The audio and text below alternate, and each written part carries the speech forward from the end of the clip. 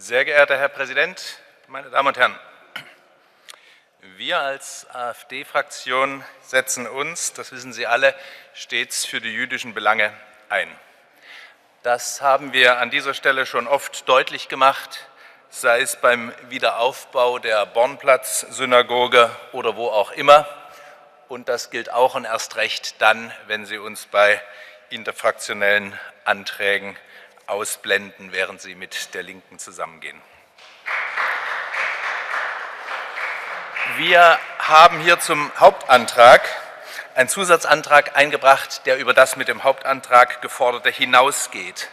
Denn der interfraktionelle Antrag ist nicht zu Ende gedacht. Er schafft und zementiert vielmehr neues Unrecht, denn mit der rentenrechtlichen Anpassung für jüdische Zuwanderer wären zwar die insoweit bislang bestehenden Ungerechtigkeiten gegenüber anderen Zuwanderergruppen beseitigt, die unter das Fremdrentengesetz fallen, aber sie lässt die Vertriebenen und Aussiedler aus der ehemaligen Sowjetunion komplett unter den Tisch fallen.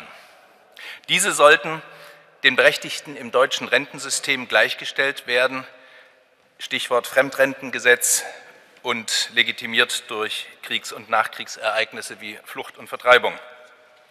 Nach dem Beitritt der DDR zum Gebiet der Bundesrepublik wurde das Rentenniveau der Spätaussiedler und Vertriebenen aber auf 60 Prozent gesenkt. Die bloße Anpassung der rechtlichen Ansprüche jüdischer Migranten an das Niveau der Aussiedler würde sie wiederum zu Betroffenen machen. Wir haben dargelegt, dass die Gruppe der Aussiedler und Spätaussiedler gerade in besonderem Maße von Altersarmut gefährdet bzw. betroffen ist. Deshalb fordern wir, dass sich der Senat auf Bundesebene dafür einsetzt, sämtliche institutionelle Diskriminierung von Vertriebenen, Aussiedlern, Spätaussiedlern und jüdischen Migranten im Fremdrentengesetz zu beenden. Wir stehen auf der Seite der Juden und selbstverständlich auch auf Seiten der Vertriebenen und Aussiedler. Vielen Dank.